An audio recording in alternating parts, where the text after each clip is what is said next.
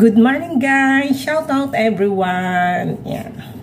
Guys, pakita ko sa inyo yung daily routine ko dito sa bahay ni Amo, yung pagtatrabaho ko. Ngayon guys, ako ay maglilinis ng kwarto ni Amo. Ayusin ko yung bed niya kasi umalis na sila. Pumunta na sila sa work. Ayan guys, maglilinis ako ng bed. Ayusin ko pala yung bed niya. Medyo malamig na dito sa Hong Kong guys. Medyo makakakal na yung ano nila. Yung kumot nila. Nagpalit na sila ng makakal na kumot. guys, ganyan lang. Hindi naman kasi sila yung mga maaarte na ano eh.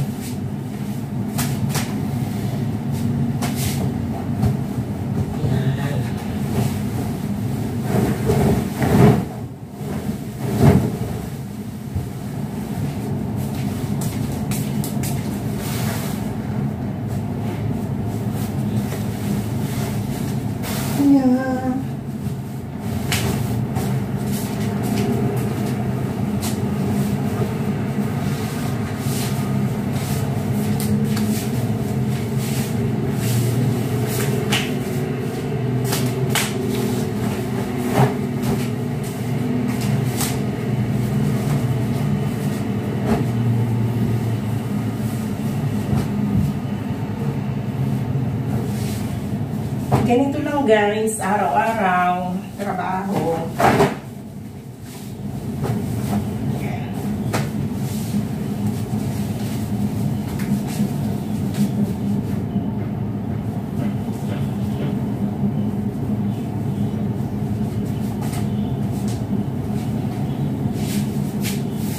Mga pantulog nila.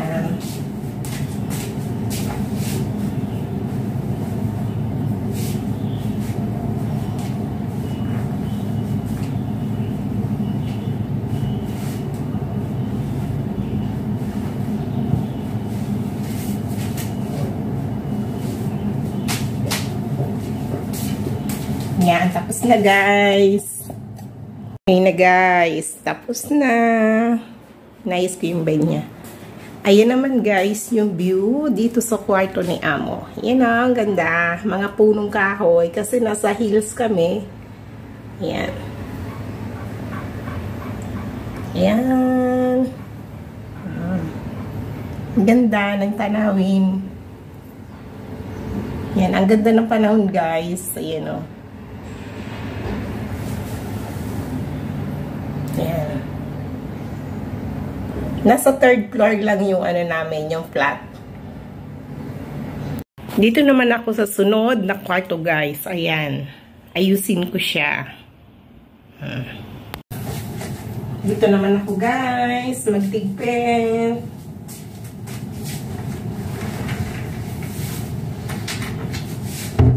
Kwarto to ng binata.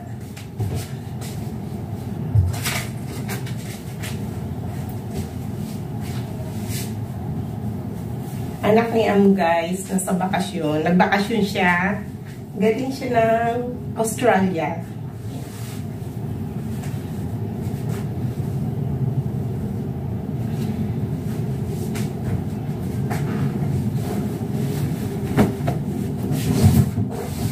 Ganito lang guys, ang trabaho araw-araw.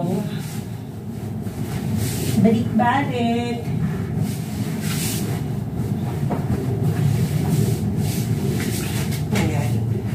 Ganito ang buhay ng OFW guys. Akala nyo lang masarap. Pero hindi. Pero pwede na rin pagka mabait yung amo mo. At hindi tulad hindi tulad ng iba na ano, yung sa gawa dito, gawa doon, do this, do that, make this, make this. Ayan. Yung maarte, sila amo kung mabait sila, walang problema.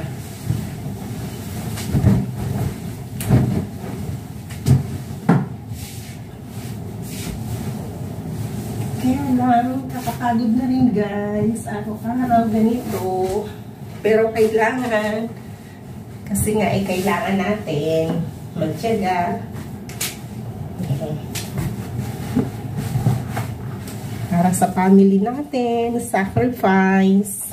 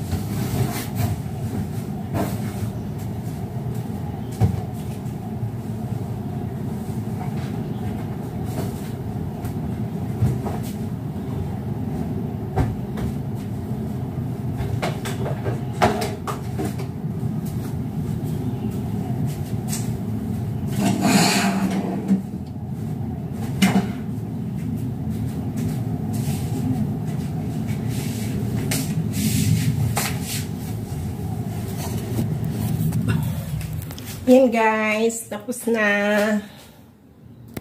kwarto di among babae kasi magkahiwa-hiwalay sila ng kwarto.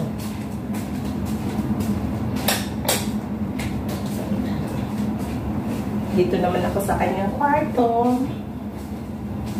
Si among babae kasi tsaka si among lalaki magkahiwalay na sila ng higaan guys. Magkahiwalay na sila ng kwarto. Ganun.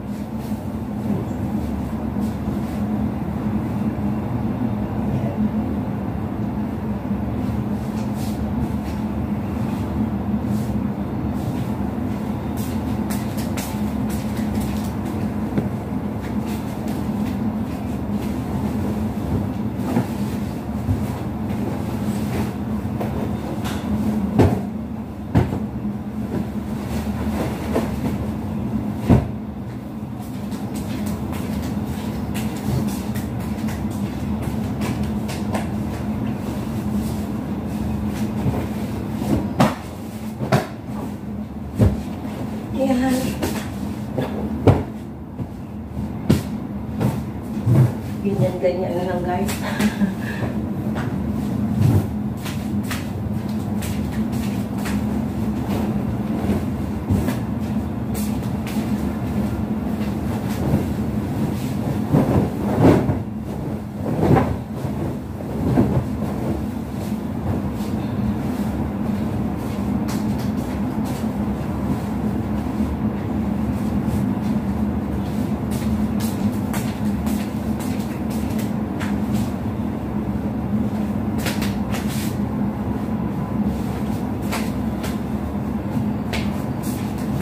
Yan, tapos na. Bed. Mamaya, walis ako naman yung mga kwarto nila. Guys, tapos na. Ayan, ang kwarto ni among babae. At ito naman yung view dito sa kanyang kwarto. Ayan guys, so ang ganda. Ayan. Ayan naman yung mga puno, kahoy sa baba. Ayan. No, Yaumati yan sa baba, guys. Ayan. Kasi nasa Yaumati kami, kaya lang nasa hills kami. Kailangan pa ng shuttle bus para makapunta dito sa ano namin. Sa place. Ayan. Oh, blue sky. Ang ganda. Yan yung mga CR nila. Hindi ko pa nalinis. Yan. Yan guys. Uh.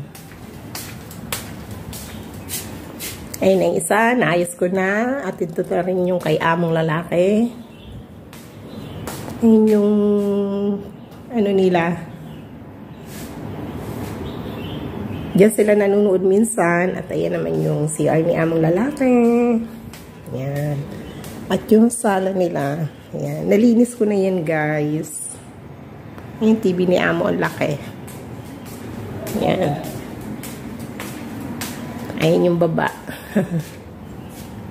eh, ganda. Ayan guys. Ayan. TV ni amo. Laki ng speaker niya. Mas mataas pa sa akin yan. Ayan guys, malinis. Yan, nalinis ko na yan.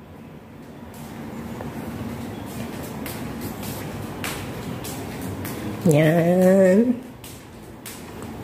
Sa ating kusina. Ayan. Ayan. Dahil ako ay naglilinis, nakakalat pa yung aking walis. Ayan. Ang aking kwarto. Ayan. Ayan ang tanawin sa aking kwarto. Ayan ang view.